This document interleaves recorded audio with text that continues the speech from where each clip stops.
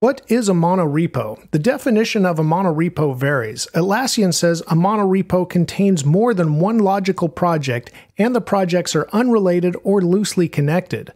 Monorepo.tools says a monorepo is a single repository containing multiple distinct projects with well defined relationships.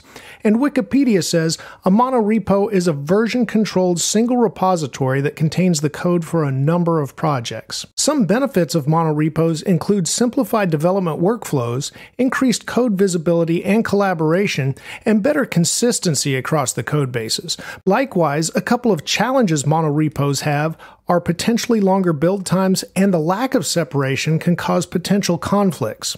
Google and Facebook have adopted monorepos, but should you? Well, that depends on your needs and goals.